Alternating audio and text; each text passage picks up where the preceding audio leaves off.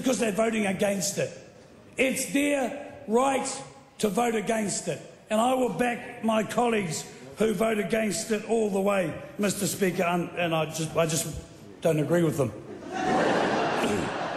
and, um, and they're going to lose tonight. But however, um, to quickly run through what I was going to say, it's, it's time. The sky didn't and won't fall in. How does it affect me or anyone else in this house, in this country? It doesn't. It just doesn't. Think about it for a minute. If, if, the, if the institution of marriage was so sacrosanct, then why the hell are so many people getting a divorce? And I don't say that in a facetious manner. Mr. Speaker, if, the, if, it, if it does belong to the church, as I've been told by so many people on the email, then why do we have legislation outlining who can and who can't? If there was no legislation, I would back the church 100%. But it's not theirs. It actually belongs to the government. It actually belongs to this parliament. It is a creature now of parliament. It's not a creature anymore of the, either the Bible or the church, Mr. Mr. Speaker. Lastly, I want to say it's actually about the, the equality of opportunity. All we are doing, we're not, we're not forcing anybody to do anything. No way, shape, or form. But what we are doing, Mr. Speaker, is offering people the opportunity of equality. Now, they either take it or they don't. That's up to them. It's not up to me, not up to any one of us uh, in this House. Sir, I want to thank uh, my cousin, uh, Kath, uh, who unfortunately died some months ago. Uh, she would have been here uh, yelling from the rooftops, and I seriously mean she would have been yelling from the rooftops because that's what she was like. Um, I, I hope she is finally proud of her cousin um, and I'm sure she was in other ways. Finally, Mr. Speaker, a message to all LGBTI, and I finally got that out. Um, my message to you all is welcome to the mainstream. Do well. Kia ora.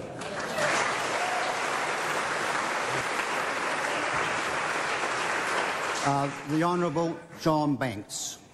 Mr Speaker, I will split this call with Te Ururoa Flavell of the Maori Party, Mr. Speaker. The privilege we have to be in this House is counterbalanced by the need to stand up and be counted. And I'm one of a handful of members that was here in the very early days of these debates. After three decades and ten parliaments, I've had time to reflect. To reflect on what I said and to reflect on what I did. If I knew then what I have since learned, I would have acted differently.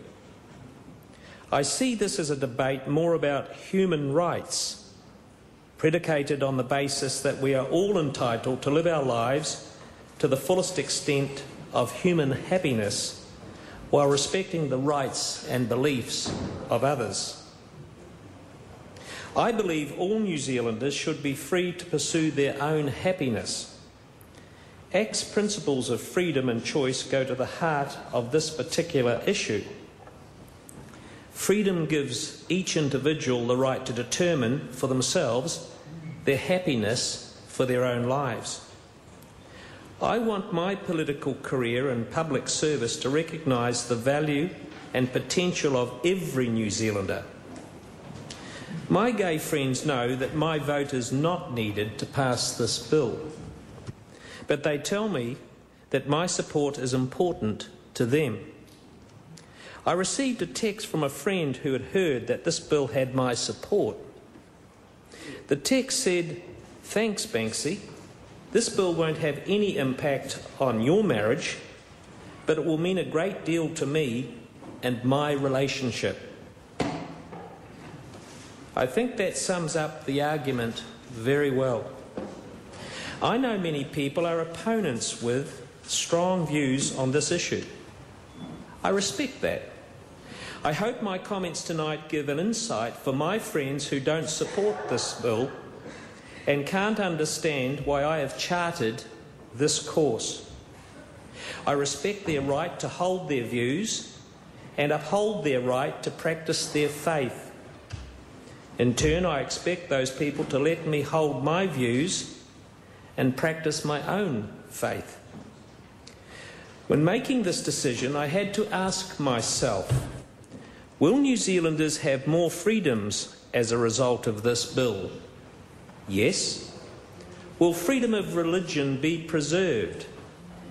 Yes. Will anyone's freedoms be taken away by this bill? No. Would the God that I believe in think any less of me for voting for this bill? No. That's why I support this legislation.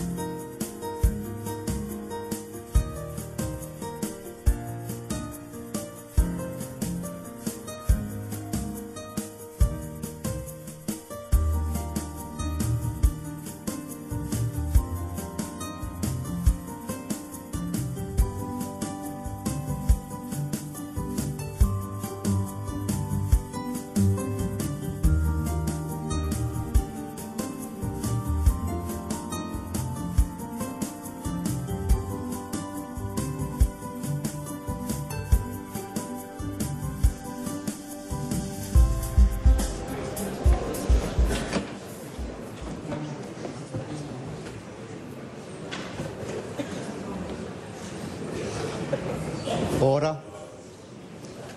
Uh, members and uh, the gallery, can I just ask that you refrain from any comment? There will be a waiata after the clerk has announced the third reading, um, but I just ask so that we can get the procedures of the House completed.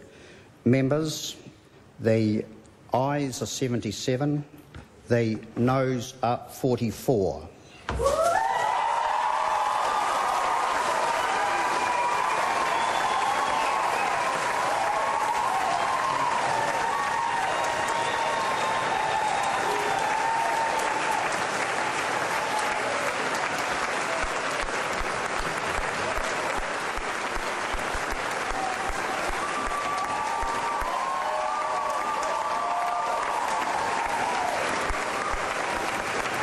The doors.